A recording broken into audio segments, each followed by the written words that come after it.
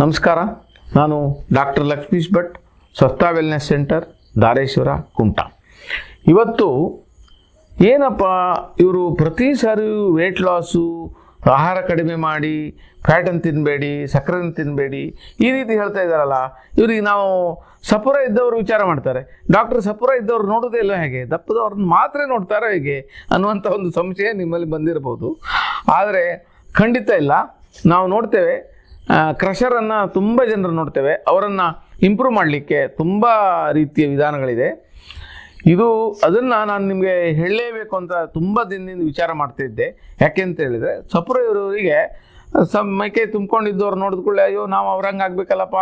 ಯಾಕೆಂದರೆ ನಮ್ಮನ್ನು ನೋಡಿ ಎಲ್ಲ ಏನು ವೀಕ್ ವೀಕ್ ಇದ್ದಾನೆ, ಕಡ್ಡಿ ಇದ್ದಂಗೆ ಇದ್ದಾನೆ ಅಂತೇಳಿ ಅಣಿಸುವಂಥ ಎಲ್ಲ ಪ್ರಮೇಯಗಳು ಇರ್ತದೆ ಮತ್ತು ಕೆಲವು ಮಕ್ಕಳಿಗೆ ಏನು ಅನಿಸ್ತದೆ, ಓ ಭಾಳ ತಮ್ಮ ಹುಡುಗ ಭಾರಿ ವೀಕ್ ಇದ್ದಾನೆ, ಏನಾದರೂ ಮಾಡಬೇಕು ಅಂತ ನಮ್ಮಲ್ಲಿ ಬರ್ತಾ ಇರ್ತಾರೆ. ತುಂಬ ಜನ ಮಕ್ಕಳನ್ನು ಕರ್ಕೊಂಡು, ಊಟ ಮಾಡಲ್ಲ ಸಾರ್ ಭಾಳ ವೀಕ್ ಇದ್ದಾನೆ ಆಡೋಕ್ಕೂ ಆಗಲ್ಲ, ಸುಸ್ತಾಗ್ಬಿಡ್ತಾನೆ, ಹೀಗೆಲ್ಲ ಹೇಳ್ತಾ ಬರ್ತಾನೆ. ಆಗ ಆ ಭಾಗ ನಾನು ಕೆಲವೊಂದು ಸುಲಭ ಉಪಾಯವನ್ನು ಜನರಿಗೆ ಹೇಳ್ತೇನೆ. ಏನಂತ ಹೇಳಿದ್ರೆ ಸುಲಭವಾದ ಒಂದು ಮೂರು, ಎರಡು, ಮೂರು ಉಪಾಯವನ್ನು ನಿಮಗೆ ಮನೆಯಲ್ಲೇ ಒಂದೊಂದು ಹೇಳ್ತೇನೆ. ಫಸ್ಟು ನಾವು ಏನು ಮಾಡಬೇಕಂತ ಹೇಳಿದ್ರೆ ವೇಟ್ ಜಾಸ್ತಿ ಆಗಬೇಕು ಅಂತ ಹೇಳಿದ್ರೆ ನಾನು ಹೇಳಿದೆ ಆಗ ಲಾಸ್ಟ್ ಟೈಮ್ ಮೊಳಕೆ ಕಾಳು ಬಗ್ಗೆ ಹೇಳಿದ್ದೆ ವೇಟ್ ಇಳಿಸ್ಲಿಕ್ಕೆ. ಅದೇ ಮೊಳಕೆ ಕಾಳನ್ನು ಹೇಗೆ ವೇಟ್ ಹೆಚ್ಚು ಮಾಡ್ಬೋದು ಅದರಿಂದ ಅನ್ನೋದನ್ನು ನಿಮ್ಗೆ ಹೇಳ್ತೇನೆ. ಈಗ ನಾವು ಫಾರ್ ಎಕ್ಸಾಂಪಲ್ ಶೇಂಗಾ ತೆಗೆದುಕೊಳ್ಳೋಣ, ಅಲಸಂದೆ ಕಾಳು ತೆಗೆದುಕೊಳ್ಳೋಣ, ಇಲ್ಲಾಂದ್ರೆ ಮಡಿಕೆ ಕಾಳು ತಗೊಳ್ಳೋಣ, ಶಿ ಕಡಲೆ ತಗೊಳ್ಳೋಣ ಅಥವಾ ಅವರೇ ಕಾಳು ತಗೊಳ್ಳೋಣ. ಯಾವುದೇ ಕಾಳಿರಲಿ ಅದನ್ನು ನಾವು ಏನು ಮಾಡಬೇಕು? ಚೆನ್ನಾಗಿ ಬೇಯಿಸಬೇಕು. ನೆನೆಸ್ಬಿಟ್ಟು ಬೇಯಿಸಬೇಕು. ಬೇಯಿಸ್ಬಿಟ್ಟು ಅದಕ್ಕೆ ಉಪ್ಪು ಅಥವಾ ಚಕ್ ರುಚಿಗೆ ತಕ್ಕಷ್ಟು ಉಪ್ಪು ಅಥವಾ ಮಸಾಲೆಯನ್ನು ಹಾಕ್ಬಿಟ್ಟು ಅದನ್ನು ತಿಂಡಿ ಒಟ್ಟಿಗೆ ತಿನ್ನುವಂಥದ್ದು. ಅದರಲ್ಲಿ ನಾನೇನು ಹೇಳೋದು ಅಂತ ಹೇಳಿದ್ರೆ, ಕಾಳು ಮೆಣಸು, ನಾವು ಮೆಣಸಿನಕಾಯಿ ಬಳಸೋದು ಬದಲಿಗೆ ಕಾಳು ಮೆಣಸು ಅಥವಾ ಶುಂಠಿ ಇದನ್ನು ಅದರೊಟ್ಟಿಗೆ ಬಳಸಬೇಕು. ಆವಾಗ ಏನಾಗ್ತದೆ, ನಾವು ತಿಂಡಿ ಒಟ್ಟಿಗೆ ಅದನ್ನು ಇಟ್ಕೊಂಡು ತಿಂತಾ ಬಂದರೆ ಅದರ ಏನು ಕಾಳುಮೆಣಸು ಮತ್ತು ಶುಂಠಿಯ ಪರಿಣಾಮದಿಂದಾಗಿ ಅಗ್ನಿ ವೃದ್ಧಿ ಆಗ್ತದೆ.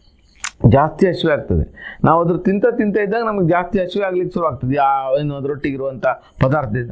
ಆಗ ನಾವು ಉಳಿದ ತಿಂಡಿಯನ್ನು ತಿಂತೇವೆ. ಆವಾಗ ನಾವು ಅತಿ ಯೋಗ್ಯವಾದ ಶುದ್ಧವಾದ ಆಹಾರವನ್ನು ಮತ್ತು ನಮಗೆ ಯೋಗ್ಯವಾದ ಆಹಾರವನ್ನು ಜಾಸ್ತಿ ಬಳಸಬೇಕು. ಹಾಗೆ ಊಟದಲ್ಲಿ ಮೂರು ಬಾರಿನೂ ಒಂದು ಒಂದರಿಂದ ಎರಡು ಚಮಚ ಆಗುವಷ್ಟು ತುಪ್ಪವನ್ನು ಬಳಸಬೇಕು. ಕಾಳನೊಟ್ಟಿಗೆ ತುಪ್ಪ ಬಳಸಬೇಕು. ಆಮೇಲೆ ಸಿಹಿ ಸಿಹಿ ತಿಂಡಿಗಳನ್ನು ನಾವು ಜಾಸ್ತಿಯಾಗಿ ಬಳಸಿದರೆ ತೂಕ ಬೇಗ ಬರ್ತದೆ. ಅದರಲ್ಲಿ ಹಾಲಿನಿಂದ ಮಾಡಿದ ಸಿಹಿ ಪೇಡ ಇರ್ಬೋದು, ಅಥವಾ ಯಾವುದೇ ರೀತಿ ಗುಲ್ಕಂದ್ ಇರ್ಬೋದು, ಅಥವಾ ಜಾಮೂನ್ ಇರ್ಬೋದು ಅಥವಾ ಮನೆಯಲ್ಲೇ ಮಾಡಿದಂಥ ಹಲ್ವಾಗಳಿರ್ಬೋದು, ಇವುಗಳನ್ನೆಲ್ಲ ನಾವು ಬಳಸ್ತಾ ಬಂದರೆ ಊಟದ ಮತ್ತು ತಿಂಡಿ ಒಟ್ಟಿಗೆ ಬಳಸ್ತಾ ಬಂದಾಗ ಆಟೋಮೆಟಿಕ್ ನಮಗೆ ತೂಕ ಜಾಸ್ತಿ ಆಗ್ತದೆ. ಆದರೆ ಅದನ್ನು ಪ್ರಿಪ್ರೇಷನ್ ಮಾಡುವಾಗ ನಾವು ಹೆಲ್ದಿಯಾಗಿ ನಮಗೆ ಬೇಕಾದ ರೀತಿಯಲ್ಲಿ ಬಳಸ್ಕೊಳ್ಬೋದು. ಇನ್ನೊಂದು ನಾನು ಹೇಳುವಂಥದ್ದು, ಎಲ್ಲರಿಗೂ ಇಷ್ಟ ಆಗುವಂಥದ್ದು, ಈ ಮಕ್ಕಳಿಗೆ ಕೂಡ ಇಷ್ಟ ಆಗುವಂಥದ್ದು, ಹೆಸರು ಬೇಳೆಯಿಂದ ಒಂದು ಪ್ರಿಪ್ರೇಷನ್ ಹೇಳ್ತೇನೆ. ನೀವು ಅದನ್ನು ಫಾಲೋ ಮಾಡ್ಬೋದು. ತೂಕಕ್ಕೆ ಭಾಳ ಅನುಕೂಲ ಆಗ್ತದೆ. ಅದರಲ್ಲಿ ಏನು ಮಾಡ್ಬೇಕಂತ ಹೇಳಿದರೆ, ಹೆಸರು ಬೇಳೆಯನ್ನು ತೊಗೊಂಡು ಮುಂಚಿನ ದಿನ ನೆನೆಸಿಬಿಟ್ಟು ಬೆಳಗ್ಗೆ ಚೆನ್ನಾಗಿ ಬೇಯಿಸಬೇಕು. ಚೆನ್ನಾಗಿ ಬೇಯಿಸಿ ಅದಕ್ಕೆ ತುಪ್ಪ ಮತ್ತು ಬೆಲ್ಲ ಮತ್ತು ಕ, ಇದು ಯಾವುದು ಏಲಕ್ಕಿ. ಇವು ಮೂರನ್ನು ಹಾಕಬೇಕು. ಏಲಕ್ಕಿಯನ್ನು ಕೊನೆಯಲ್ಲಿ ಹಾಕಬೇಕು, ಮೊದಲು ಹಾಕಬಾರ್ದು. ಬೆಲ್ಲ ಮತ್ತು ಬೇಯಿಸಿದಂಥ ಹೆಸರುಬೇಳೆ, ಅಂದರೆ ಪಚ್ಚೆ ಹೆಸರುಬೇಳೆ ಅಂತ ಹೇಳ್ತೇವೆ ನಾವು. ಹೆಸರುಬೇಳೆಯನ್ನು ಅದನ್ನು ಮಿಕ್ಸ್ ಮಾಡಿಬಿಟ್ಟು ತುಪ್ಪದಲ್ಲಿ ಚೆನ್ನಾಗಿ ನೀರು ತುಪ್ಪ ಎಲ್ಲ ಹಾಕಿ ಕುದಿಸ್ಬೇಕು. ಕುದಿಸೋದು ಚೆನ್ನಾಗಿ ಬೆಂದ ನಂತರ ಅದಕ್ಕೆ ಏಲಕ್ಕಿ ಹಾಕ್ಬಿಟ್ಟು ಪಾಯಸ ಅಂತ ಹೇಳ್ತೇವೆ ನಾವು, ಪಾಯಸ. ಅದಕ್ಕೆ ನಾವು ಹಾಲನ್ನು ಕೂಡ ಮಿಕ್ಸ್ ಮಾಡ್ಬೋದು. ಕ್ಷೀರ ಪಾಯಸ ಅಂತೇಳಿ ಹೇಳ್ತಾರೆ ಅದಕ್ಕೆ. ಅದು ಭಾರಿ ಉತ್ತಮವಾದಂಥ ಒಂದು ಆಹಾರ. ನಮ್ಮ ದೇಹಕ್ಕೂ ಒಳ್ಳೆಯದು ವೇಟ್ ಹೆಚ್ಚಾಗಲಿಕ್ಕೂ ಆಗ್ತದೆ ಗ್ಯಾಸನ್ನು ಕಡಿಮೆ ಮಾಡ್ತದೆ. ಆದರೆ ಪ್ರಮಾಣವನ್ನು ಎಷ್ಟು ತಿನ್ನಬೇಕು ಹೇಳೋದನ್ನು ಅವರವರ ಜೀರ್ಣಶಕ್ತಿಗೆ ತಕ್ಕಂಗೆ ನಿರ್ಧರಿಸ್ಕೊಳ್ಬೇಕು. ಒಳ್ಳೆಯದು ಅಂತ ರಾಶಿ ತಿಂದರೆ ಒಳ್ಳೆ ಆಗಲಿಕ್ಕಿಲ್ಲ ಅದು. ಅದಕ್ಕೋಸ್ಕರ ಅದೇ ರೀತಿ ನೀವು ಇನ್ನೊಂದು ಟಿಪ್ಸ್ ಅಂತ ಹೇಳಿದ್ರೆ ನಾವು ಬಾಳೆಹಣ್ಣಿನಿಂದ ಮಾಡುವಂಥ ಯಾವುದೇ ಪ್ರಿಪ್ರೇಷನ್ ಎಸ್ಪೆಷಲಿ ನಾವು ಏನು ಹೇಳ್ತೇವೆ, ಬಾಳೆಹಣ್ಣಿನ ರಸಾಯನ ಅಂತ ಹೇಳ್ತೇವೆ, ಅದು ಕೂಡ ತೂಕ ಹೆಚ್ಚಲಿಕ್ಕೆ ಒಳ್ಳೆ ಆಗ್ತದೆ. ಅದನ್ನು ಕೂಡ ಇದೇ ರೀತಿ ಬಾಳೆಹಣ್ಣು ಅಂತಂದ್ಬಿಟ್ಟು ಚೆನ್ನಾಗಿ ಕಟ್ ಮಾಡಿ, ಅದಕ್ಕೆ ಎಷ್ಟು ಬೇಕಷ್ಟು ಬೆಲ್ಲವನ್ನು ಹಾಕಬೇಕು.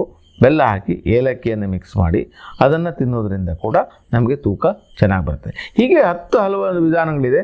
ಇವನ್ನೆಲ್ಲ ನಾವು ಫಾಲೋ ಮಾಡ್ತಾ ಬಂದರೆ ಆಟೋಮೆಟಿಕ್ ನಮ್ಮ ತೂಕವನ್ನು ಹೆಚ್ಚು ಮಾಡ್ಕೊಳ್ಬೋದು ಇದಕ್ಕೂ ಹೆಚ್ಚಿನ ಮಾಹಿತಿ ನಿಮಗೆ ಬೇಕಾದಲ್ಲಿ ಕೆಳಗಿನ ನಮ್ಮ ಸಂಪೂರ್ಣ ವಿಳಾಸ ಇದೆ. ಅವಶ್ಯಕತೆ ಇದ್ದವರು ಸಂಪರ್ಕಿಸಬಹುದು. ಇಲ್ಲ, ನಿಮ್ಮ ಹತ್ತಿರದ ವೈದ್ಯರಿಂದ ಸಲಹೆಯನ್ನು ಪಡ್ಕೊಳ್ಬಹುದು. ಮುಂದಿನ ವಿಡಿಯೋದಲ್ಲಿ ಇನ್ನೊಂದು ವಿಷಯದೊಂದಿಗೆ ಸಿಗೋಣ. ವಂದನೆಗಳು.